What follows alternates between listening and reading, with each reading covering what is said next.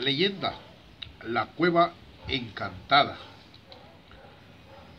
Hace muchos años, en un rincón de la selva de los Chimalapas, vivieron en ese lugar que se llama La Gloria, unas cuantas familias que se dedicaban al cultivo de maíz, frijol, café, malanga, yuca, naranja, mandarina, plátano, etc. Pero con el tiempo los terrenos que ya habían sido desmontados se convirtieron en pastizales, propicio para la cría de ganado bovino y equino. Muy cerca de ese lugar, como a dos horas de camino, se encuentra un lugar sagrado que le llaman la Cueva Encantada. Le dicen así porque cuentan los antepasados que gentes yeki de otros lugares que han querido entrar en ella han muerto. También cuentan que unos gringos al andar inspeccionando en ese lugar, su avioneta se desplomó en donde murieron todos sus tripulantes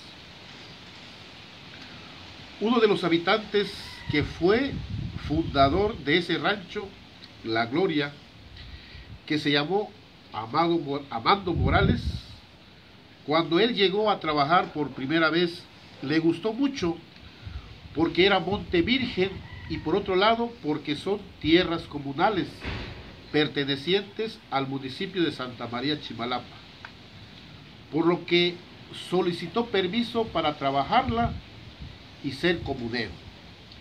De igual manera, otras familias también lo hicieron quedándose a vivir para sembrar y cuidar sus cosechas.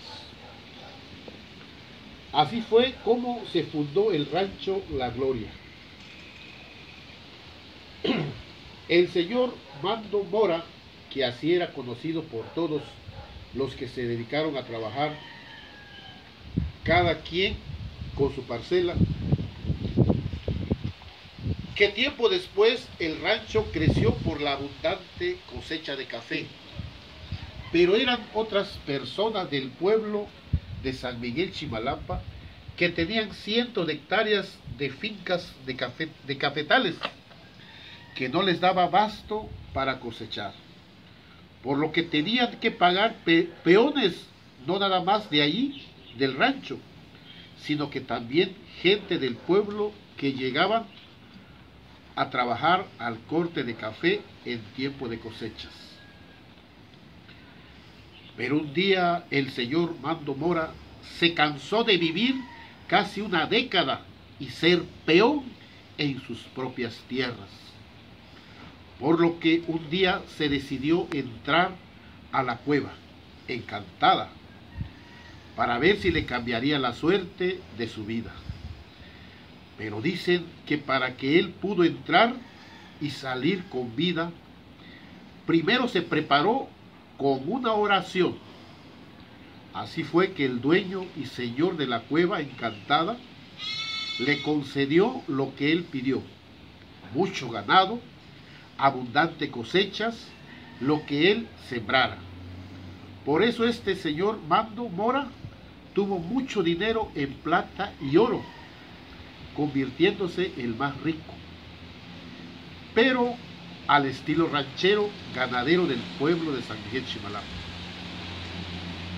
Pero poco le duró el gusto, ya que tiempo después, poco a poco, se fue desapareciendo su ganado y todo lo que tenía a su alrededor, hasta que se quedó con una casita como cualquiera de sus compañeros campesinos.